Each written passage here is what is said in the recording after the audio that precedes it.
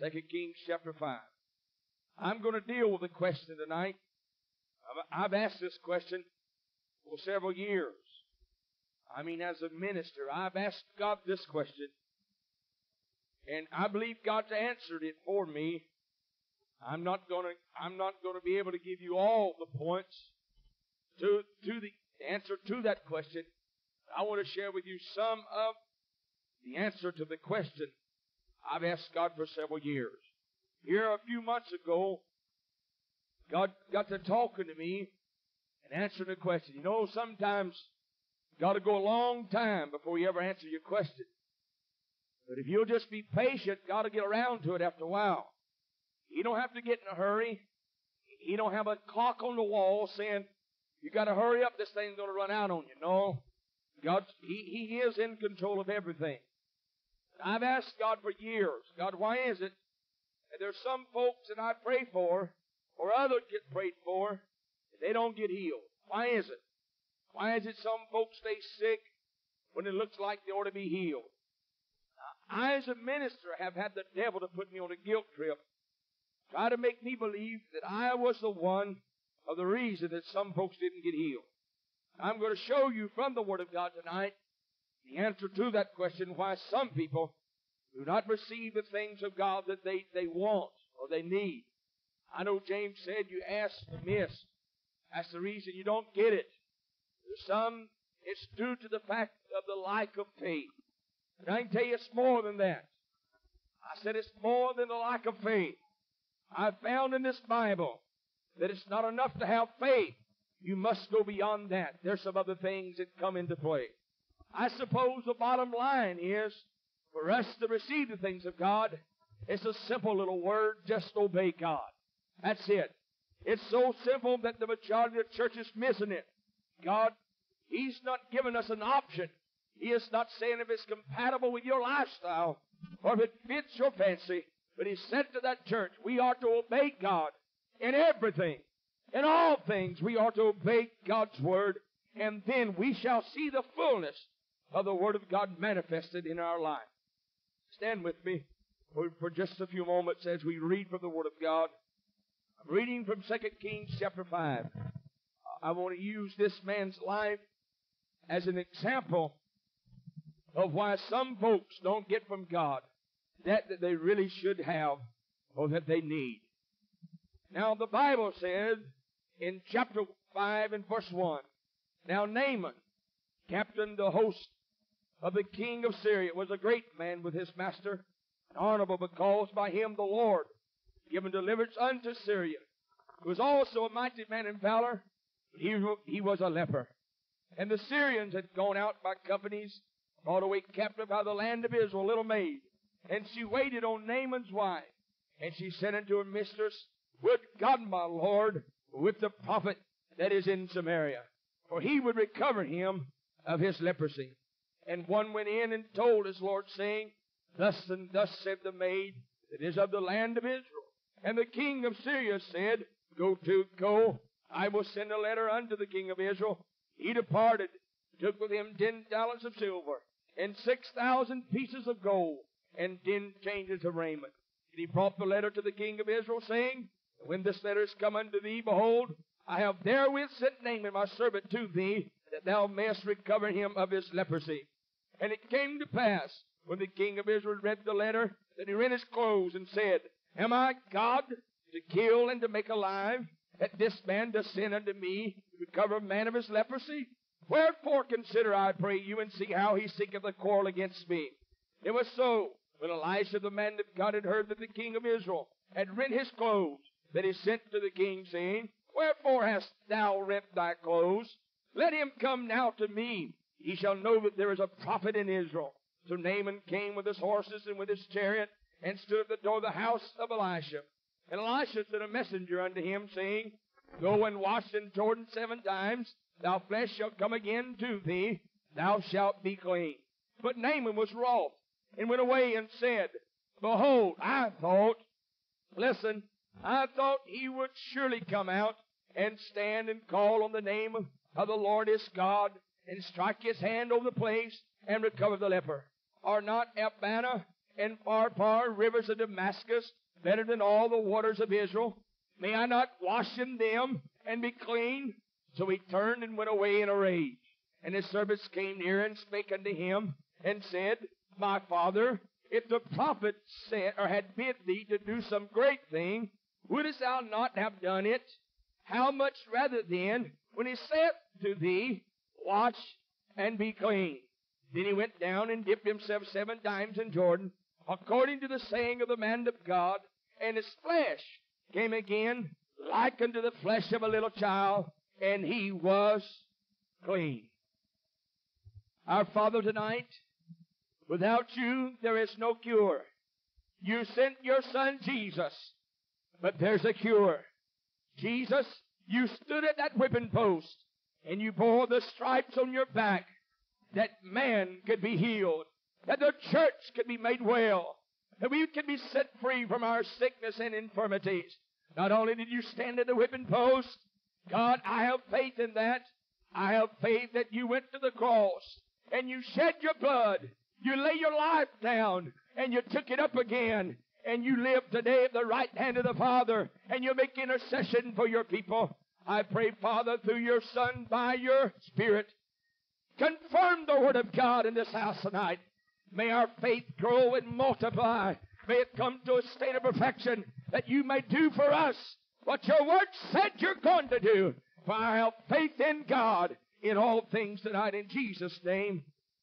Amen and amen. You might be seated.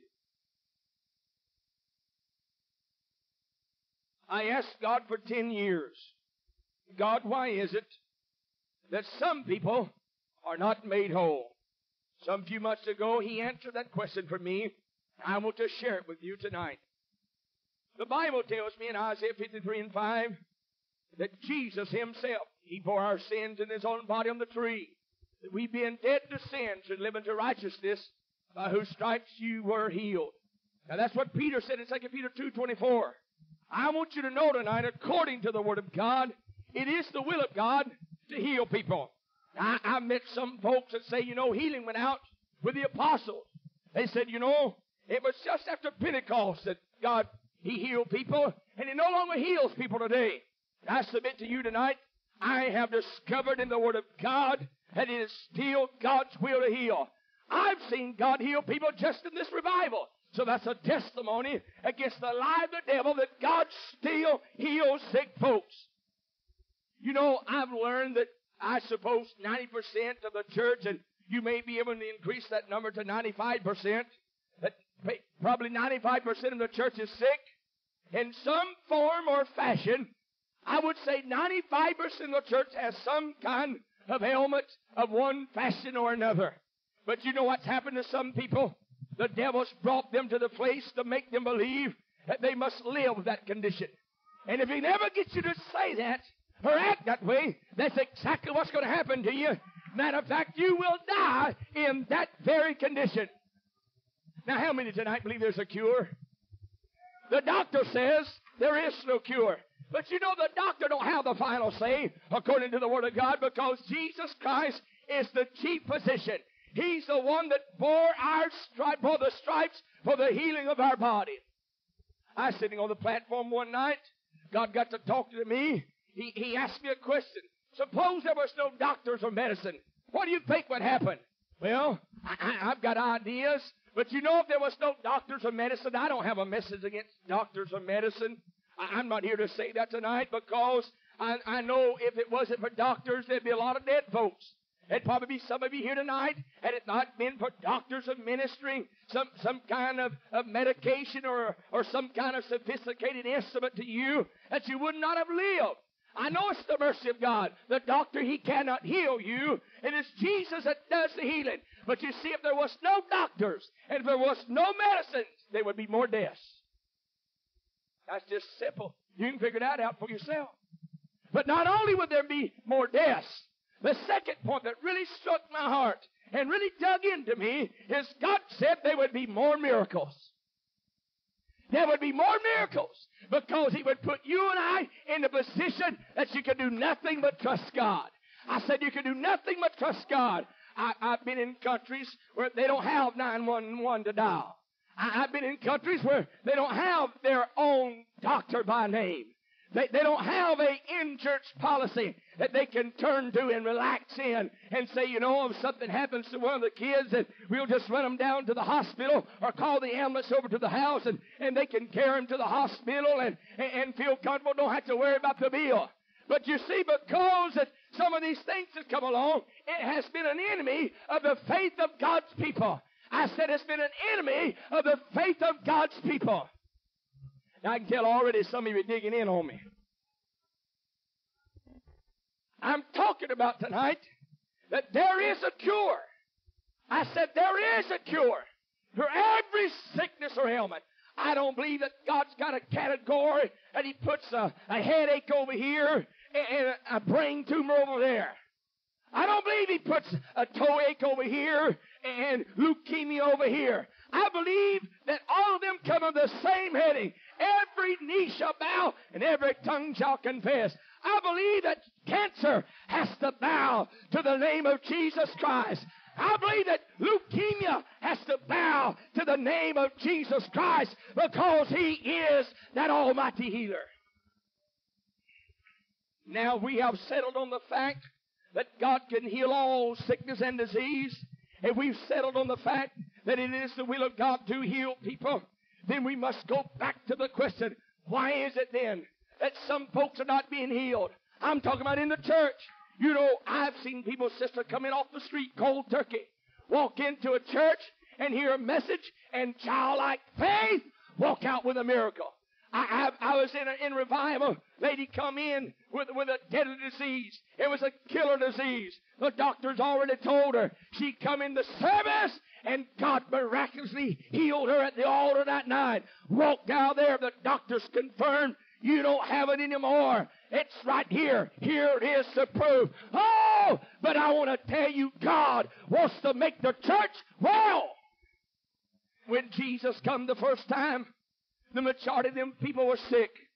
The, everywhere he went, that's all he found was sick folk. Not only the fact because they were sinners. I know that sickness come because of sin.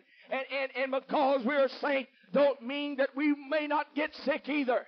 You hear me? And because you do get sick, don't necessarily mean that you committed sin. But on the other hand, it could be the reason that you are sick. I can tell somebody didn't like that now. Now let me use this man Naaman as an example. You got a lot of folks sitting on pews today, just like Naaman. I mean, from the front to the back, you can call them Mr. Naaman sitting there. The Bible said that Naaman was the captain of the host of Syria. He's a great man, the Bible said, great and honorable. He was used by God to deliver. The, the, use him, use him to use the, by, with the Syrians to come against the devil, the enemy. The Bible said he was a mighty man in valor. Oh, everywhere Naaman went, folks knew him. Yes, sir, that's Mr. Naaman there. He's a great fellow. I mean, he, he's a whiz. He's a mastermind when it comes to warfare. Ain't no enemy can stand against him. Well, it was God using him because Israel backslid. But here's this man, Israel, or this man Naaman rather. The Bible said not all these things about him, but it said he was a leper. Now that was a dreaded disease. I, have seen pictures of people that had leprosy. Their, their hands, their fingers. I, I, mean literally their arms are rot off to the elbows. I thought, how in the world can they stand the pain? Because I, I see their toes and their feet rot off, swell up real big, and literally decay away. No, no medication, nothing to help them. Oh, it was a painful disease. It was a crippling disease. And the Bible said that Naaman had this disease. There's no cure for him. I said, there's no cure for that man. Say all the great things you want to about him. He's got something nobody wants. I mean, he's a great man in Syria. But I can tell you on the other hand, there wasn't one of those slaves out there trading places with him. No, sir, not on your life. They looked at that man's skin and said, No, sir, he's got leprosy. Let him ride that chariot all he wants. I, if I got to have leprosy to ride with him, no, sir, I don't want anything to do with leprosy. Because it was a feared and dreaded disease, I suppose, like AIDS today is. Folks are, are afraid of it. They're, they're, they're scared of it. it. It's a, it's a killer. And so was leprosy. Here's a man. Everywhere he went, they knew him as a leper. But here this man had went and he had brought back captive out of the land of Israel a little la- maiden. This just a little old Jewish girl. I, I can just picture her. She she hadn't even become to the age of being a teenager. She's in the house of this man called Naaman. I believe that over in her room where she was appointed to stay, that this little young lady laying there, she could hear the moans and the groans and the cries of Naaman during the dark hours of the night as he was laying there in pain, as he was suffering because of this killer crippling disease called leprosy. And this little Jewish maid, she waited on Naaman's wife. And I, I can see the comfort in the, uh, this little maid as she would try to give it to that man's wife. And one day that little Jewish maid said to Naaman's wife, Do you know what? That there's a cure for your husband, Naaman? Oh, you don't know what you're talking about, young lady. Leprosy, there's no medication that can touch it. There's nothing that can help my husband called Naaman. But she said, I want to tell you something. I would to God that my Lord were with the prophet Dennis of Samaria. What are you talking about? For he would recover him of his leprosy. There wasn't no question about it. There wasn't no if, ands, or maybes. This little lady, she knew beyond a shadow of a doubt that this man, David, he can be made whole. She said, there is a cure for him. I thought about that little young lady. Mr. Naaman, he'd taken her away from her mom and dad. He went down there, brought her away from home. She's living in a foreign land now. Ain't no brothers or sisters, no cousins, aunts and uncles, nowhere around. She's all by herself. I can tell you, you, you take a lot of folks and put them in her condition, they've been trying to retaliate. That's right. They've been trying to get back. Said, bless, bless God, I'll get you back now. I, will show you. And, and, a lot of folks in the church today would have been laying in the other room laughing, saying, goody, goody, goody. I'm glad all this stuff is happening to him because he brought me away from mom and dad. But not this little girl. She's a, she's a typical Christian little young lady.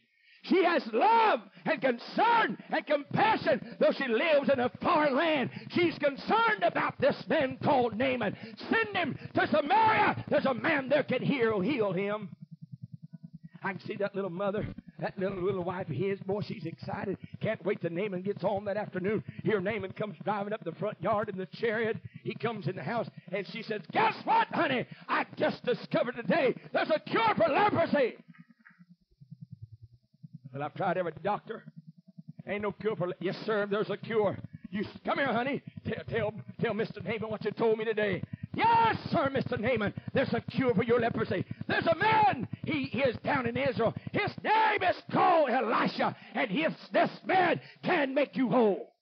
Boy, he gets excited. He goes and tells the king about it. The king gets excited because the king cares about Naaman. Naaman's his right hand man. Because of Naaman, he is now living in victory. And I can see the king, he sits down, gets him a pen, writes out a letter. He said, Here, take this. You go to the king of, of Israel, you give him this letter, and I want him to cure you of this terrible disease.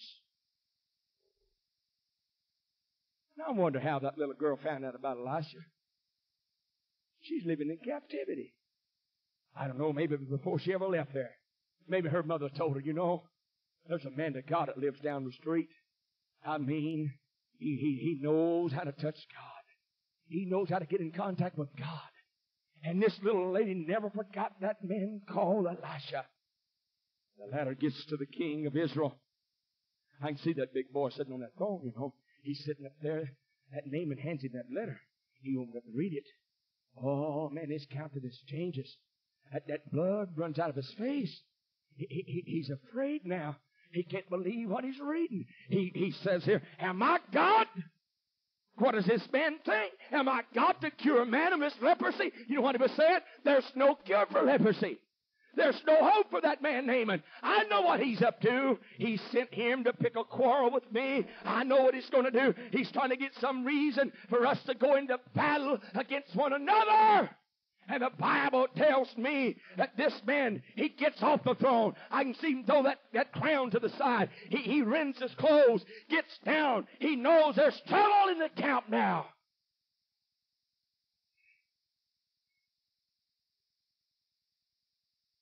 I don't know how. Naaman must have been in town this day.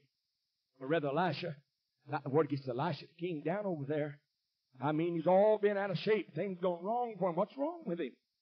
Well, he got a letter today the, from Naaman, a man down from Syria, wants this man to cure him of leprosy. No, Elisha didn't get all bent out of shape. He just said, send him to my house. Just send him on over to my house. I believe the church ought to be a healing station. How to be, this ought to be a soul saving station. I believe this ought to be a place where people are set free from every sickness and disease. It ought to be, it's okay, I, I, I, am going to have a little trouble with this now. I, I, it's okay to have a handicap parking outside. It's okay to have a handicap rail coming up beside the church for, for people to hold on to to get in the church. But oh, it ought to be when we roll them in, in a wheelchair that they can push the wheelchair out. Let them walk up the handicap ramp. But oh God, let them walk down the stairs. Let them park in the handicap when they come. But let them park in another space in the parking lot the next time they come back to church again. I believe there's a cure, my friend. I'm preaching to you something that I believe with all of my heart. I, I, I can tell some of you don't really believe that. Elisha said, send him my house. I wonder how many of us would have done that. You know, here's us. Well, I tell you what, I'll give him my doctor's telephone number. I'll send send him over there. You know, boy, I got me a bottle of pills here. You talking about power for this? I'll knock it out of you.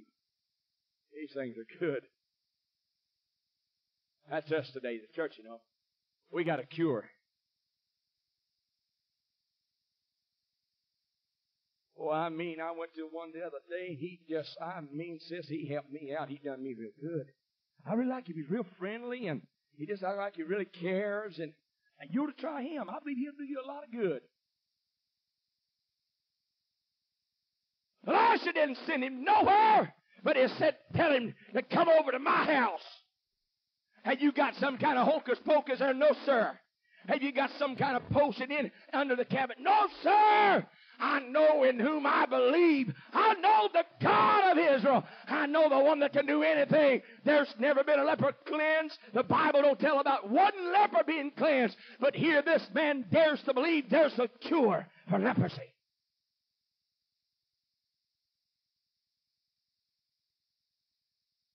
I, I, I know that King's glad to hear that. Send him my house. That, that's good. You get him out here. He's sure glad to get that guy out of his place. Naaman gets in that chariot and away he goes. Got them serpents go over to a certain certain avenue, go cross, turn left here by this tree and go out there. I can just picture old brother Elisha living, you know, out the country somewhere, all by himself out there. He's sitting up there in an easy chair, you know, just getting along real good. And then Mr. Naaman drives up out front. The Bible says that Naaman comes to the door. And I Elisha looks, oh yeah, that's, him. Must be the fellow got leprosy. Yeah, that's him. I can see it. Come to the door, knock on the door. Elisha said, go, go to the door and just tell that fellow going down to the Jordan dip seven times. Come on now. Just go down to Jordan and, and, and dip seven times. Now, here's some of us folks, you know. What if you'd been that service, sister? I wonder if you would have told. Eh, eh, fella, I don't know about this now, but this is what that fella in the house said. He said, if you'll go down to Jordan, that's that way, and dip seven times in that muddy Jordan, you'll be healed. you know, never happened before. Now, you can believe if you want to. I don't know if it'll really work or not. That's right. We got folks that quote scripture and then say, here, take ten of these.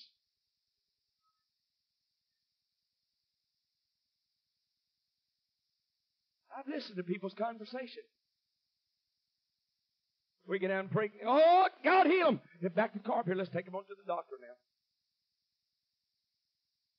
Why are you so quiet? You know, a few nights ago, you was wanting to swing from the lights. I'm still preaching out of the same Bible. I ain't changed, still the same Bible. This one right here, same book. Elisha said, Go down and dip seven times. That's what the servant said. You got folks in the church would have never told him. And never told that name and that. But this servant told him, Go down there, dip seven times, and you will be made whole. Here you go. You got here's the church folks now. Here's some of these other church folks, you know. This, fella's standing at the door. Mr. Naaman's standing there. He, he's waiting on some kind of hocus pocus deal, and it don't happen. And he says to that servant, I can see him. He gets mad. The Bible said he was wroth, and he went away in anger. He was upset because he didn't hear what he wanted to hear. Elisha, he's still sitting in the chair. He ain't moved yet. And the servant standing there, he getting blessed out. He said, I thought he'd come out here and wave his hand over me. I, I thought he'd come out of the house and tell me my telephone number. I thought sure Mr.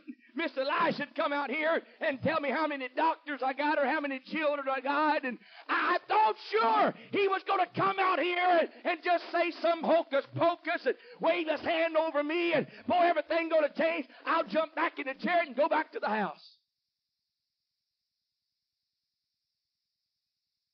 The Bible said he said, I thought.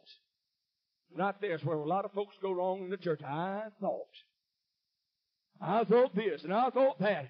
And because they didn't go the way they thought, they do just like old Naaman said.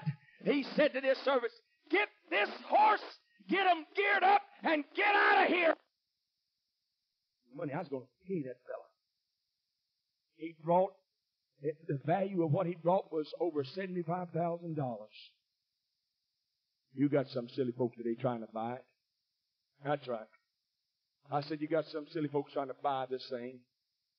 That's right, trying to pay for it. You can't pay for it. It's already paid for. I said, it's already paid for at Calvary. That, that whipping post, Jesus Christ paid the price for us. Naaman goes away. He's wrought. He's upset. He's angry because Elisha don't tell him what he wants to hear.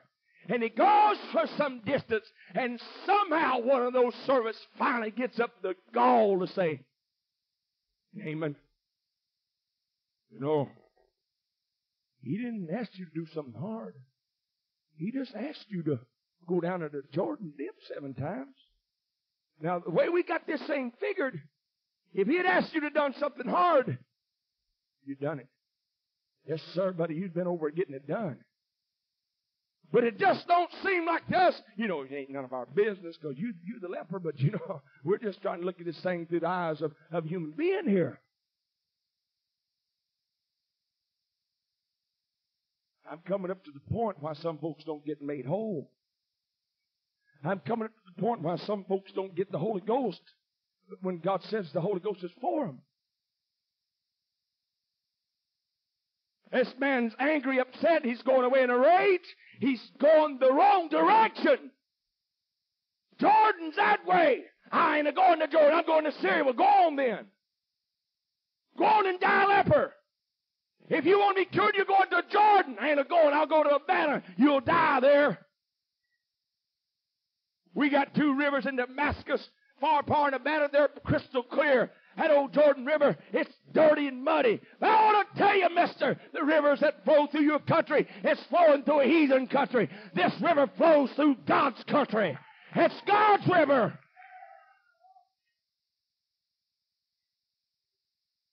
You see what Mr. Naaman had? He had pride. Man, I'm in, I'm running this show. Yes, sir. I'm the one's in control here. I, I, I, I, I'm Mr. Naaman. I'm an honorable man. Everybody knows me when I pull in town. Yeah, you're a leper too. Yes, sir, you're a leper too, mister. And if you don't turn that buggy around, you're going to die a leper. So Mr. Pride had to get down off his throne. Mr. Pride had to become humble. And the same fellow by the lines that told him, go to Syria, had to tell him, turn the buggy around and go to Jordan. And it was hard for him to do it. And there's many times in the church, some people are not willing to admit they're wrong, they're failed. And it'll keep them from receiving the blessings of God. I wasted a lot of good oil on folks. Oh yeah, I have. I've wasted some good oil. I've wasted some stinking oil too. Yes, sir. Like laying your hand on that wall over there. Me prayed, do the best I know how. Done, done prayed and fasted, sought God. Come out of my prayer closet of hours and then get somebody that's something wrong in their life, but yet they don't want anybody to know it. They think God don't care or is concerned and want you to pray a blessing down on them. I can't do it. Elisha could have not have made him whole until that man obeyed God's voice through Elisha. Go to Jordan, dip seven times, ain't a going, we'll dive then.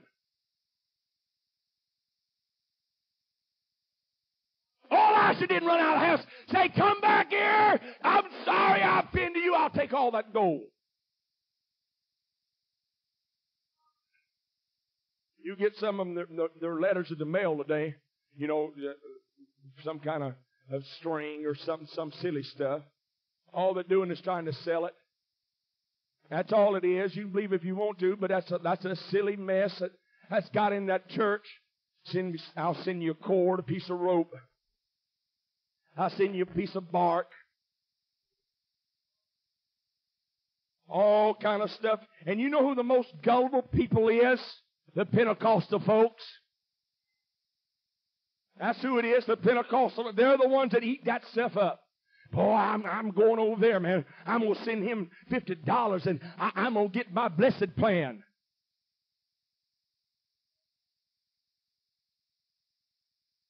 Here, this man had to tell them servants, turn the buggy around. You go to Jordan. And I, I you know, here he goes. He, he's finally calmed down. And Boy, this has really offended me and hurt me that I had to tell him to do that.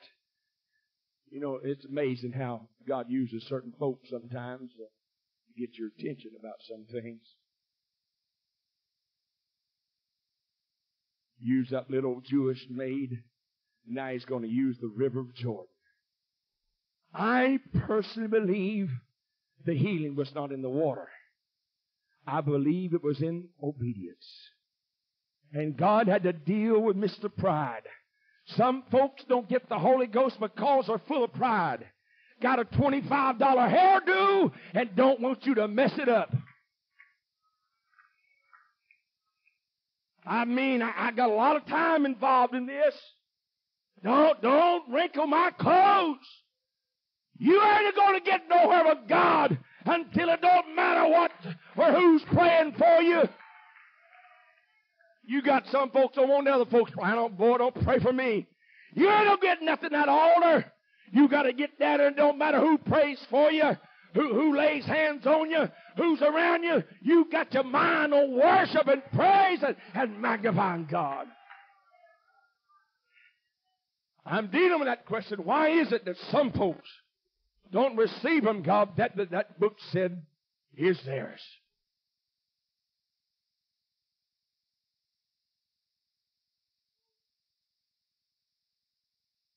All right, here we go. You better buckle up, this is what God gave me. The reason some folks not made whole because they're sympathy seekers. They don't want to be made whole. That's hard to believe. And I can tell you that's the truth. Some folks don't want to, they'll want you to pray for them because they like to be prayed for. They want you to ask, ask them, how you doing? Sometimes that's a terrible mistake to ask. They'll tell you every sickness and disease they had for the last 50 years. Want to show you every scar that they got when it's in the hospital an operation. Yes, sir. There are some, God said, they're not healed because they don't want to be healed. They're sympathy seekers. Then you got them other folks. God's getting tired of people treating him like, like he's a, a, a, pill in a bottle. You know, they got a mantle over there, got all kinds of, of, of, chem, or, of bottles sitting there. They got one for discouragement, one for sickness, and one for this, and, and just whatever they need, God, they think they can run over there and, and take the top off, pop a pill, and everything's all right now, and then live like the devil, do like they want to do. No, sir. God don't heal you of lung cancer so you can keep on sucking on cigarettes. God don't heal you and your legs being crippled so you can go to the dance hall. God don't heal your eyes so you can look at the filth and the garbage of this world.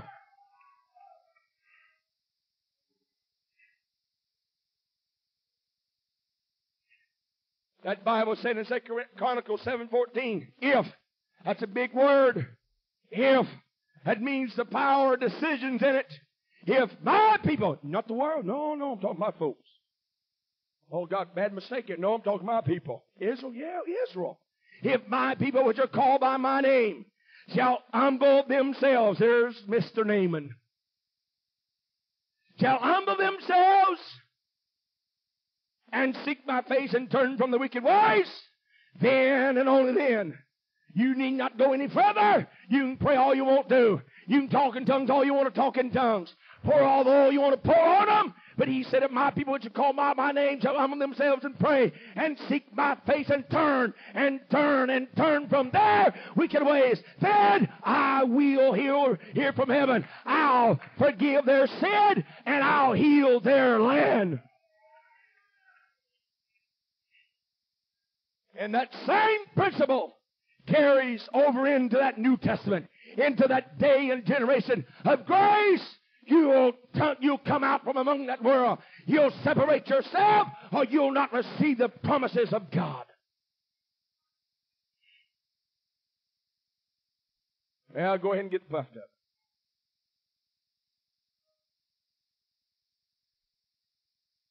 You got some folks don't want you putting no oil on them. I personally believe there's no more healing in that bottle of oil than was in River Jordan. But God, in His omnipotent omniscience, He Himself, in that book in James, the book of James, chapter 5, verse 14, He said, James asked the question, Is any sick among you? Who's He talking to? The church? Is any sick among you? Any. Any. He didn't say this kind or that kind. Is any kind of sickness among you? He said to them people, call for the elders of the church. Let the elders pray for them. Let them anoint them with oil. Somebody pray the prayer of faith. The Lord shall save them. He'll raise them up. And the prayer of faith shall heal the sick. He didn't stop there though. I mean in the same breath, James still talking. He said to them same folks that are sick, that call for the elders of the church, when the elders have done their part, when they have anointed with them all, John, uh, James said for them same people, he said to confess your faults one to another that you may be healed. For him to say that, Brother Anderson, means that there are some people will not be healed after they call for the elders, after they've anointed them with, with oil, after they prayed the prayer of faith, that they will not be healed because they themselves have some kind of sin in their heart, in their mind. They have aught against their brother, and he said they will not be healed. Matthew chapter 5, Jesus said the principle before he ever left here on the Sermon on the Mount. He said, if you come down to the altar, you bring your gift, and your brother has an ought against you, he didn't say put that, that gift on the altar, leave it before the altar. Get up, go to that brother, make things right. When everything's right between you on that side and you on this side, everything's right. He said, come back, get the gift up, put it on the altar, and then your prayers will be answered. I pray for some of them kind of folks. I mean, they's mad with somebody else. Then want me to pray God to heal them or do something this, give them this or that. I knew, I knew they ain't getting nowhere.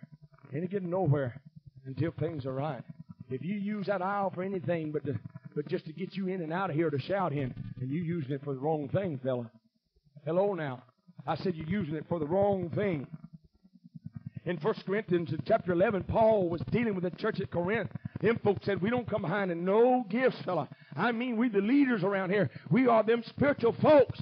But they come to the place that they was eating the Lord's Supper, and they made a party out of it. And Paul said, you better examine yourself. He that eateth and drinketh unworthily. Paul said, for this cause many are weak and sickly among you and sleep. He was talking to the church. He was talking to a church that said, we don't come behind in nothing. But Paul said, I want to show you, you got some problems in your midst. The, the reason some of you are weak in body and you're sick and some of you's already died is because you don't think of the Lord's Supper as it ought to be thought of.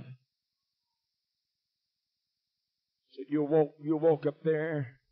You'll take that bread, represent the body of Christ that was broken for you. You'll take that juice that represents the blood of Jesus Christ that was shed for you and you'll take it down and, and you don't think anything about it. Paul said, you better examine yourself before you ever do it. You better search your heart. No, don't look at your sister. Don't look at your brother. No, no, don't look at the preacher. Don't look at nobody else. You look at self. Because what you're about to do is a very sacred thing. It's, it's God ordained. God Himself set that sacrament in order. And when you come to a place, you take it lightly and you got sin in your life, you're going to suffer the consequences thereof.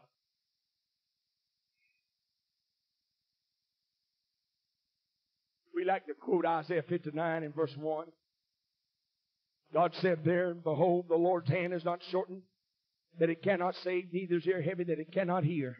Well, we can jump and shout, My God! He's on the phone. He knows everything. He's in control. But God said, But your iniquities have separated, separated between you and me, and your sins have hid my face from you, and I will not hear you. Talking to God's people. He said, because of your sin, I no longer hear your voice.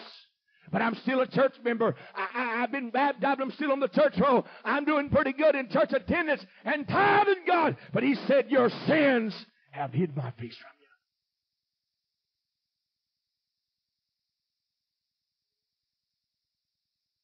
Well, I got another one.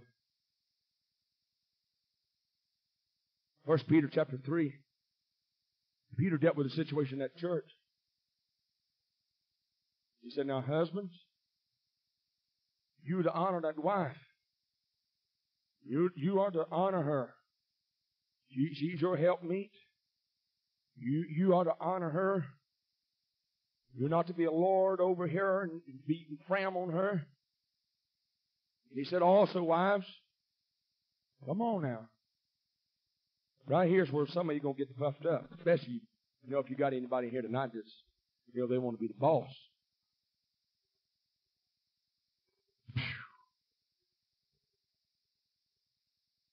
You know, I like to see humble people. I do.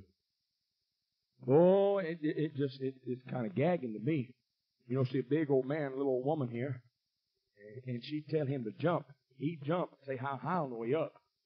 You know, she lead him around by wringing his nose. You know, just whatever she says, that's it, buddy.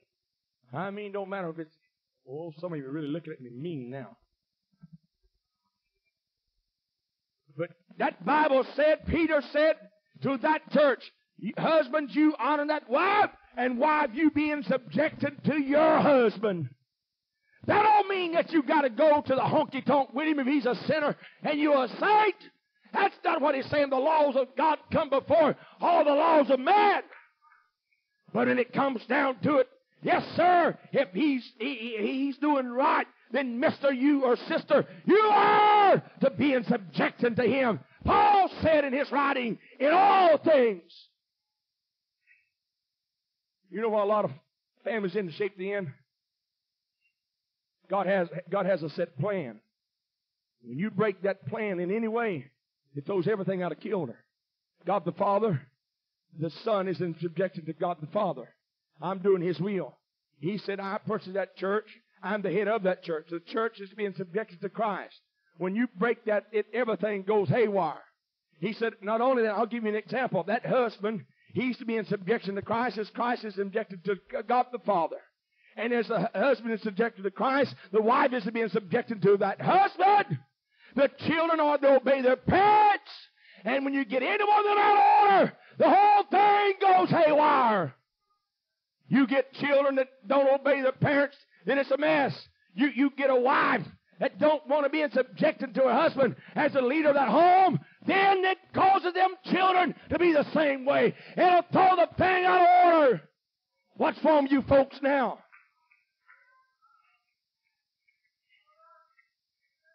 I don't mean you're the beaten family. That ain't what I'm saying. But we have an awesome responsibility, Brother Anderson. You're to be the priest of your home. You ought to be the prophet in your home. You're to be the leader in your home. God tell you responsible. And Sister Anderson, I'm just using you an example. If you ever try to get out of that position, it'll throw everything in a mess.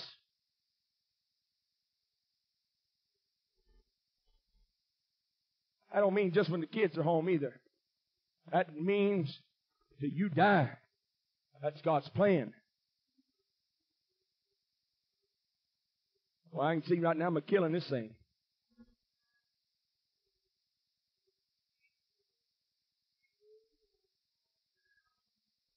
You know when submission is tested? I was down in prayer one day. God showed me when submission is tested. It's when your will is crossed. That's the only way you know that you're in subjection. Submission is when your will is crossed. When it don't go according to your will, then the real test has come. Am I in submission to God?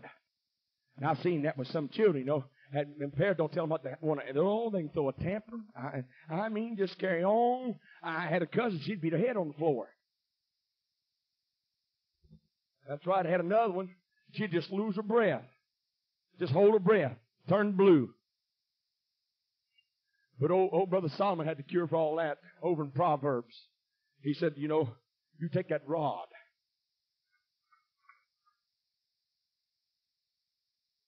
Yes, sir. That'll cure that. I know what this silly mess is today. You give them a complex. No, you'll give them a hot seat. That's right. You get their attention. You say, listen here, boy.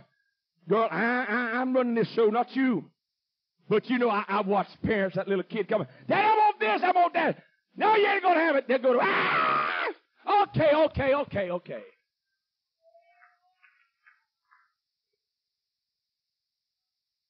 Some of you, some of you ladies go ahead and laugh. I've seen some of you do the same thing.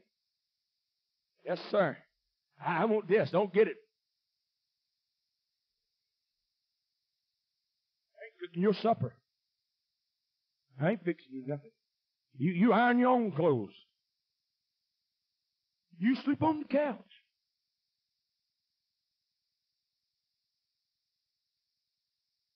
Thank God, but just a few more nights, this thing's going to be over. I'm telling you the reason that some people are not made whole. Now you may think these things are not important, but they, God said to me, they are important. I've had that devil, Brother McHugh, he's wallowed me around and said, boy, you ain't nothing. You ain't, no sir, your prayers don't mean nothing. That fasting don't mean anything. That prayer life don't mean nothing. If it had, a why didn't this happen? And God showed me. It's not always you, preacher. Many times, it's the one you are praying for. You still with me, brother? All right. Peter said, if that husband don't honor her wife, honor his wife, that wife don't be subjected to her husband, then their prayers will be hindered. Well, I just go to Tulsa then and get him to pray for me. Go ahead. It still hold, the same principle holds true in Tulsa as it does in Macclenny. You don't have to go to Miracle Valley to get a miracle from God. There is no Miracle Valley. A miracle is at hand every time you live for God and serve God. Well, I done run out of time. I don't believe somebody take any more of this. Yes, sir, the reason some folks are not healed is because they don't have any faith. God said have faith in God. He didn't say have faith in the preacher. He didn't say have faith in the oil. He said have faith in God. There's some things not going to happen till you pray and fast. And disciples said, Why couldn't we do that? We've done it before. He called, he said, This kind cometh not but by prayer and fasting. Yes, sir. Because they, they did not pray and fast, unbelief come in. It got a hold to them.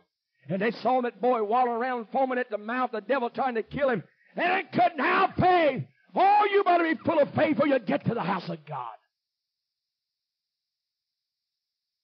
I can tell you, them folks come to Jesus, try to put it on him. He'll say, Oh, sir, it's according to your faith. Yes, he did. Now, no, don't you try to put it on me. It's according to your faith.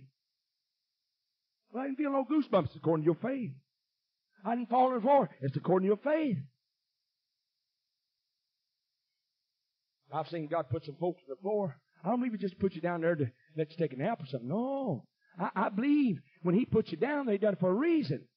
I've seen God heal people, them get up, boy, feel good about it and say, Well, I thank God for blessing me.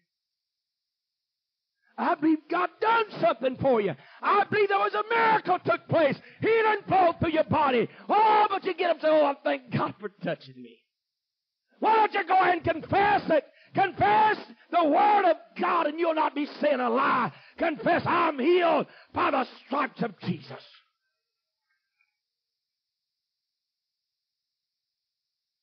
I've seen in my ministry two dead folks get up. I ain't never seen that.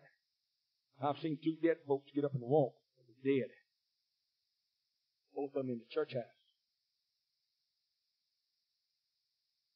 Now Smith Wigglesworth prayed that prayer of faith for that fellow. Had no feet. And he forgot to be praying. He still had no feet. He went to that shoe store the next day. He put faith into action. Them feet growed there. Yes, sir. I mean, a foot grew on that nub. He stuck that nub in the shoe. In the 1900s, it happened. In, in, in, in Cuba. In Cuba now. There's a man there, God sent him there from Puerto Rico. He's having revival. And people's arms are literally growing on them. Said, oh man, I don't believe that. That's your problem.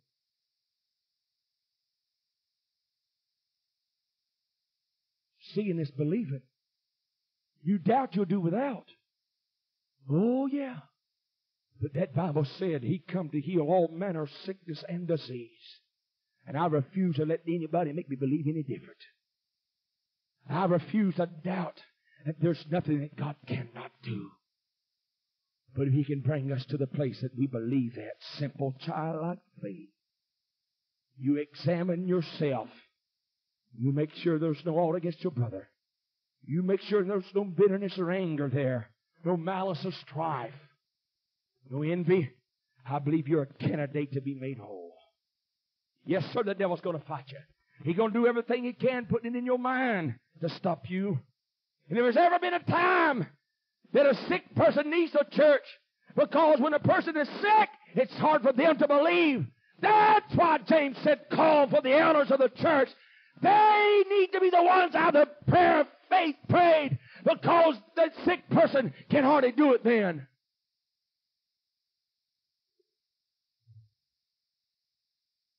You ain't gonna have time to run out there and fast three days in. You don't have time to run over there and make something right then. No, sir, you better have everything right when they call for you.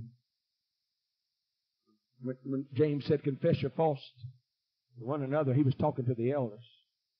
He didn't mean run over and talk to some long tongue, gonna get on the phone, spread it across town. No, no. No, he didn't say that. He said you, you, you confess it to them elders. And ones that are going to pray for you, confess to them, I, I've done wrong. I've talked about you, brother. I, have really run that, I, I run the pianist down. I just didn't care for my Sunday school teacher. That preacher made me mad. You confess your faults. James said, you can be made whole then. You can be healed. I'm going to live by that right there, what I'm preaching. I'm going to live by it. Because I believe it's the gospel truth.